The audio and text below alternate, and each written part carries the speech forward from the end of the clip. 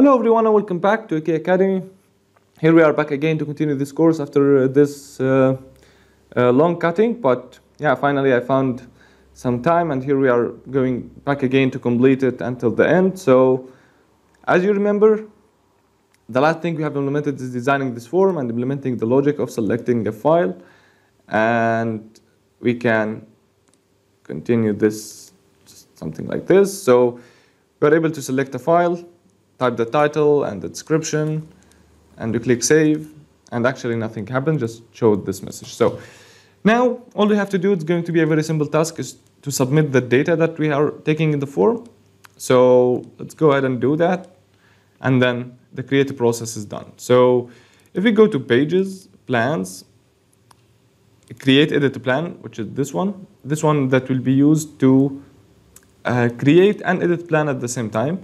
We have plan form, which is existing in the components, plans, plan form, and here it is. So this is the form that we have designed, and we have implemented all the logic required. We have bound the elements, and oh, sorry, the fields.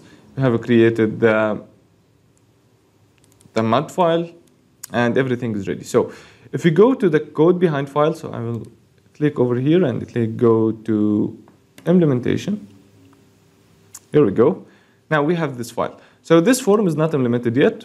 So let's go ahead and start doing that. So we will start by defining is busy equals true, and we will end by is busy equals false, just something like that. Then we are going to implement try catch exception. So this is in case of any exception that happened that we don't know about it, whatever it is. We are going to log that later to do log the error. And for now, we are going just to show it in the error message equals ex.message. We change this behavior. And the other type of exceptions we want is the API exception, right? Because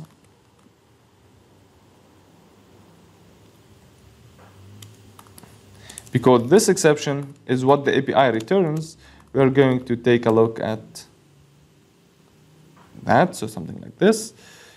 So here, there is a logical error, comes from the API. If I go over here by clicking F12, and then I, then I click Control F12 to go to the implementation, you can see after we send the request, we check if the status code is success, then we return API response slash plan detail. This is what the API returns. And in case of the error, we get this object API error response, and then what we do is actually we throw an API exception, right?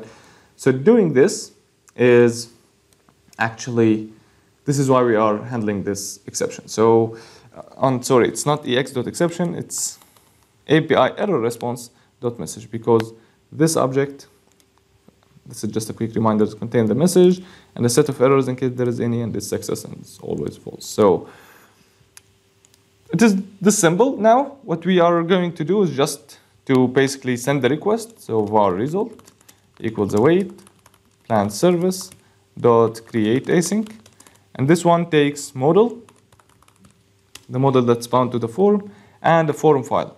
So we don't have yet a form file, which is an object we have created. We will check if the stream is not null, which means the user selected the file, so we will make then, uh, sorry, form file equals null. So in this case, form file equals new, and it will take the stream and the file name. If you remember this one, we have just done it to transfer the stream and the file name in a wrapped object to the services. So this is it. And in case of not selected, then keep it null. We don't need it. And after the result, this means if it's failed, then this one will be thrown. Other than that, we will just success here. So we can basically, let's for now just navigate to the public navigation manager navigation and here we'll type navigation navigate to slash plan right so that's great now let's uh, just try to test this, but before, let me check if we already, this is the button, and we have to make disabled equals is busy, right? So if the request sending, the button is disabled, and then the user cannot click anything else, cannot click it multiple times, and at the same time, it doesn't indicate that there is something like wrong, right? Uh, or uh, the application is loading. So let's run the project and see what we have.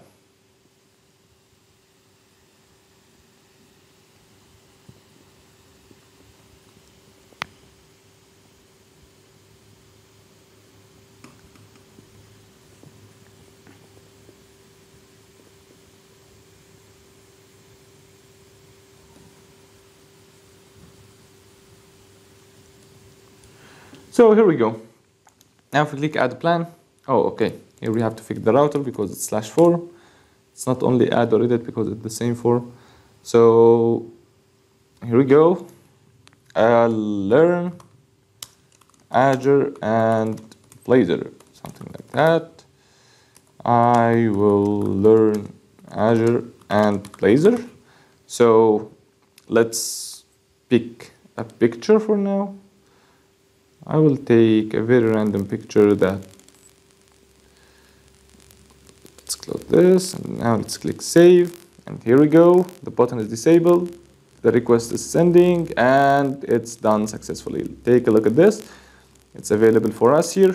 That was very very simple. Now let's try to make another one but without picking a picture. I'll type uh, install Windows 11 this is a plan. So get check requirements and do something. I will not pick a picture, I'll just click save.